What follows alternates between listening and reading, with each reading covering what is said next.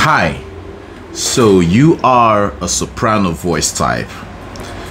How did you come to that conclusion? Or you are an alto voice type. How did you come to that conclusion? Think about it for a minute.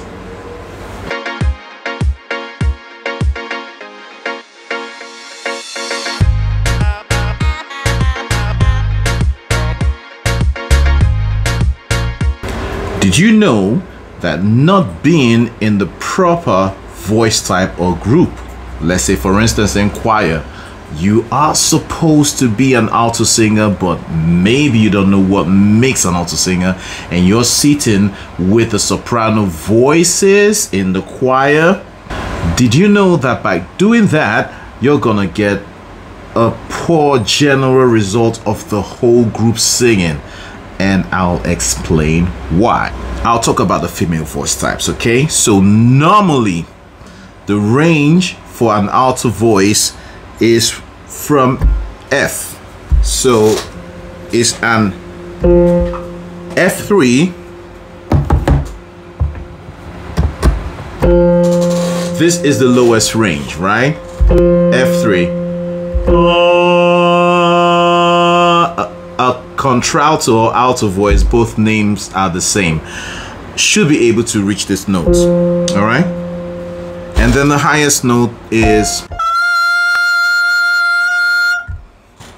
okay so this is the range of an alto voice but within the range there's what we call tessitura tessitura doesn't reach the highest and doesn't even reach the lowest because on stage when you are singing you won't want to hit the highest range and you wouldn't want to hit your lowest range. You want to play safe because that would be like pushing it too far okay? So tessitura is a range within your range that you're most comfortable singing or you sing with most of the time.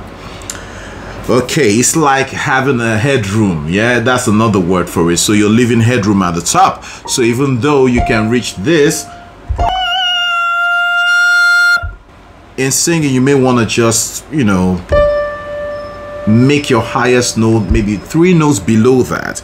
And the same with the lowest note um, instead of going oh which is your lowest note on stage you may want to go this low maybe um, three notes before that. Uh, or so now here's the thing.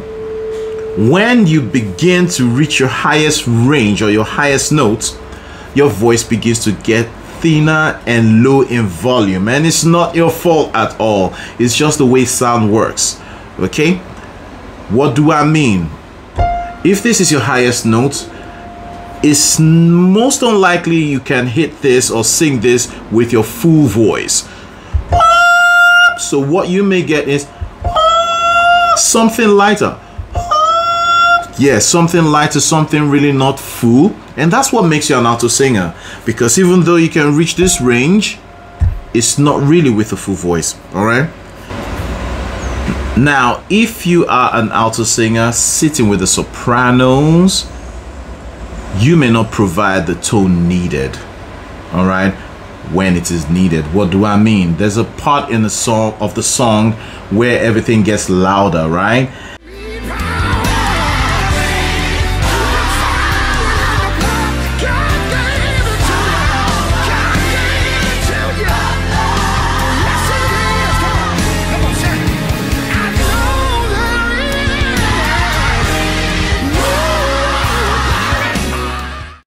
And as a soprano voice, you are expected to sing it with a strong, powerful, full voice.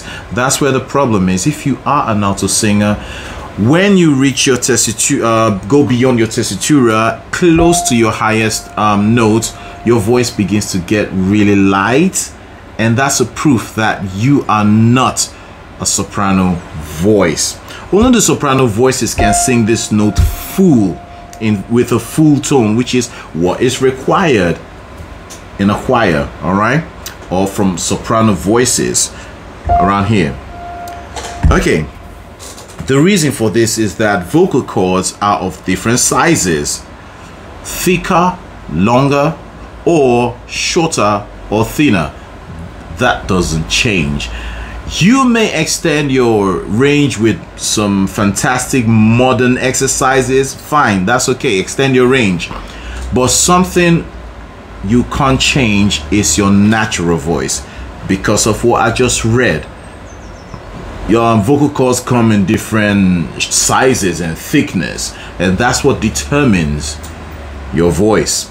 So even though with technique you can reach higher tones, your natural voice remains your natural voice. Now let's go to the soprano.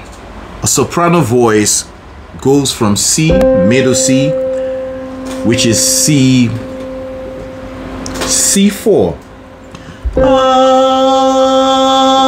that's the lowest range and they should be able to hit this note comfortably. So if you can't sing this note, you're probably not a soprano voice. So um, there are two kinds of voice type that sing soprano in choirs. Okay, one is soprano voices, yeah, which goes from here, the lowest range, to here, C6, C4 to C6, the highest range. Now, the other type of soprano is a mezzo soprano, and a mezzo soprano the highest note is close to the soprano's highest note um, but just three notes short so this is their notes okay and that is a5 a5 and their lowest note is um,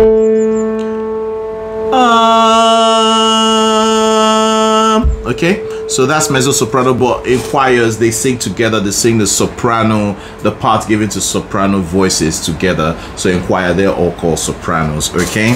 If you sit in your proper voice type you're gonna sing comfortably all the time and you're gonna remember it's a teamwork. As a group as a choir it's a teamwork. So if one voice type falls short it's gonna affect the whole tone so just imagine um, the soprano comprises alto singers who think they are sopranos. What's gonna happen is when we get to the loud part of the music where the energy is high, what's gonna happen is the tenor voices are gonna sing uh, full tone, right? Because that's that range is natural to them. The alto voices, the correct alto voices are gonna sing a full tone, but then the soprano voices who um, which comprises alto voices who actually think they're soprano voices are gonna sing like um, a breathy kind of tone and that it uh, sounds weak that sounds soft and sounds low in volume yes and at the end of the day they're gonna be submerged their sound is gonna be weak like under while the other ones are full and that's that's not gonna create um, the balance needed for the whole group. So it's a teamwork. An alto voice is an alto voice because of your vocal cords, the thickness, the length, the height of your vocal cords. That would never change. Even if you extend your range, eh, for example, your talking voice would never change no matter how much you extend your range. And that tells you your voice type never changes. So also, a soprano singer may not know they have a soprano voice type and maybe currently singing with the altos, thinking they're altos, right? Maybe because of fear or anxiety or lack of knowledge. They always sit so comfortably with the um, altos.